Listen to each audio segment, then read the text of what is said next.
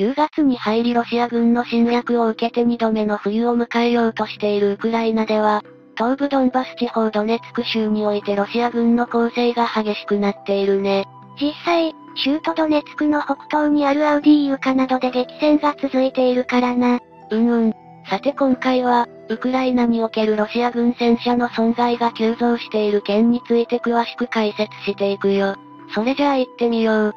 ゆっくりしていってね。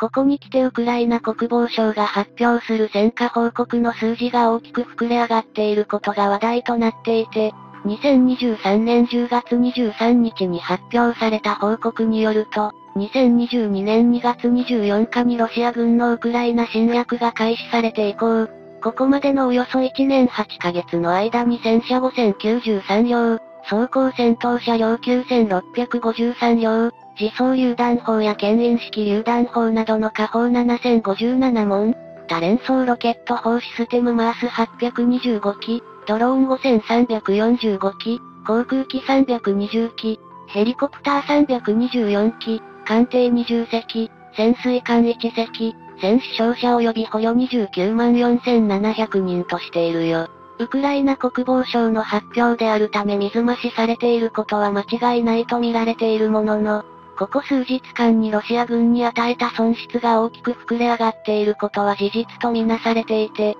10月20日の発表では19日における戦果として1日で戦車を55両撃破したと伝えており、その他にもこの日に装甲戦闘車両120両と各種火砲29門に、兵士戦死傷者及び捕虜1380人捕虜含むとする戦果が報告され、数字の信憑性はともかくとして大規模な戦闘があったことが伝えられたんだ。イギリスのシンクタンク国際戦略研究所 IISS の発表によると、ロシア軍は侵攻開始前の2022年初頭の時点では正規軍全体で約3000両の戦車を現役配備していたとされ、それ以外にも予備として保管している旧式の戦車を含めると最大で1よろず200両もの戦車を保有していたと伝えられていたが、それらのうちの約半数がわずか2年足らずの間に失われたことになるというよ。また、アウディーユカでは戦車のみならず兵員装甲輸送車も多数が失われていて、新型の兵員装甲輸送車である BTR-82A もまたアウディーユカの戦闘においては19日の1日だけで13両が失われ、ロシア軍がウクライナ侵略を開始してからここまでの1年8ヶ月以上の間において、同種類の車両を1日で損失した例としては最悪のものとなっているね。BTR-82A はウクライナ軍が施設した地雷を踏んで車輪が損傷したり、横転したりして格座した後に精密な砲撃によって破壊されたとされ、破壊された13両が戦闘態勢にあったとするならば乗員及び歩兵がそれぞれ10人乗り込んでいた可能性があり、これら130人前後の兵士が無事に帰還できたかは不明だな。これらウクライナ側から発信されている情報では、ロシア軍が自軍兵士の命を軽視して無謀とも言える攻撃を実施していることを指摘していて、ポドリャク大統領府顧問は21日にロシア軍はアウディーユカ周辺において、過去1週間に推計で5000から6000人の兵士が戦死したとして、ロシアの目的はウクライナや西側諸国に心理的な圧迫効果をもたらし、自分は人的損害を気にせずに戦えると示すことだと指摘したぜ。英国防省は22日、ロシアによるウクライナ侵略が開始されて以降のロシア軍の死傷者数が、民間軍事会社ワグネルなどを除いた正規軍だけで24万から29万人に達したとの推計を明らかにしたよ。そしてこのうちの15万から19万人が死亡したか、もしくは戦闘に復帰できない重傷を負っているとして、それらの人数がここ最近のアウディーユカの戦闘によって急速に増えていることを指摘しているね。アメリカのシンクタンク戦争研究所もまた22日に、ロシア軍が19日から20日にかけてアウディーユカにおいて大攻勢に出たものの失敗したが、それにもかかわらず最前線の部隊に援軍を送り続けていることを指摘した上で、アウディーユカ近郊で大規模な攻勢を展開し、大きな損害を出してわずかなウクライナ領土を占領したとする分析を発表しているみたい。また同研究所はロシアの軍事ブロガーの話を伝えていて、それによるとウクライナ軍はアウディーユカ周辺に地雷を敷設した上で、厳重に要塞化を進めたと指摘し、この状況がウクライナ軍によって6月初旬に開始された反転攻勢作戦において、南部ザポリージャ州の要衝特幕を目指す攻撃軸においてロシロ軍の地雷原によって足止めされていた状況と似ているとしており、このことについてロシア軍はザポリージャ州で自らが地雷を多用した防衛線を構築してウクライナ軍を苦しめておきながら、同様に地雷を用いたウクライナ軍の防衛線に苦しめられていると指摘して嘲笑する声が上がっているぜ。ロシア軍はアウディーユカ攻略に際し、2個機械化旅団機構旅団で人員は約8000人を投入したとも言われ、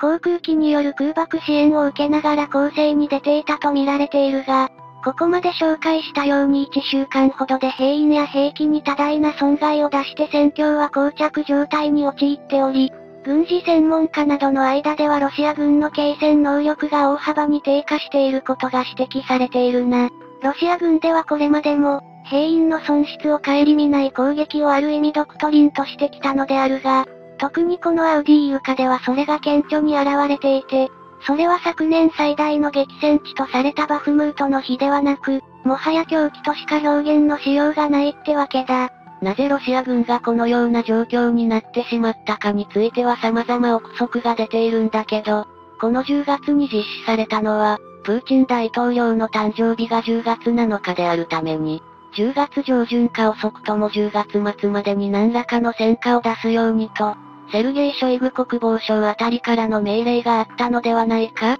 との見方もあるみたい。プーチン大統領は、ウクライナにおいて東部ドンバス地方の新ロシア派武装勢力が建国を宣言した。ルハンシク人民共和国のルハンシク州と、ドネツク人民共和国のドネツク州の州境までを制圧することを最低限の目標として掲げていると伝わっているよ。そのために来年2024年3月に予定されているロシア大統領選挙に向けて、ルハンシク州とドネツク州の境界までロシア軍が占領したとする戦果を挙げることが必須であり、そのことをショイグ国防省に言明したとしても不思議はないよね。プーチン氏は、10月5日にロシア南部の措置で開催されたバルダイ会議において、ウクライナとの戦闘に関して、ウクライナ軍の反転攻勢が始まった6月4日以来、ウクライナ軍は9万人以上の兵士や、557両の戦車、1900台近くの装甲車を失うなど大きな損害を出しており、反転攻勢は失敗していると主張したんだ。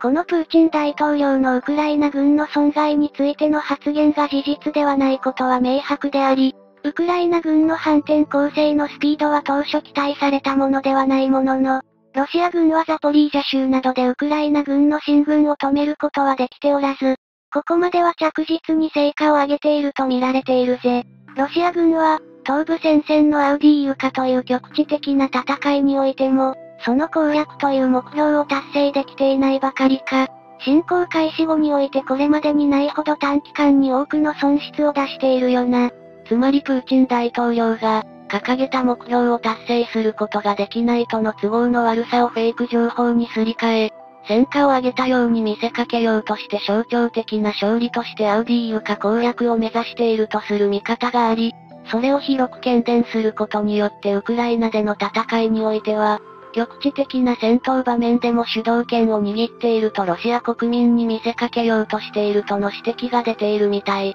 それが真実であるとするならば、ロシア軍は来年3月まで現在のような兵員と装備を大量に損失する人海戦術を継続するものと思われ、ロシア軍に大損害を強いている要因である GPS 誘導の長射程ミサイルやロケット弾によってさらに兵員と装備を損失していくと見られているよ。アメリカでは移動する目標を攻撃可能な GPS 誘導ロケット弾の開発が進められていることから、この侵略戦争が長引くほど、さらにロシア軍の戦車が失われていくであろうとの見方が広がっているね。それじゃあ今回はこの辺で、よかったら、チャンネル登録してね。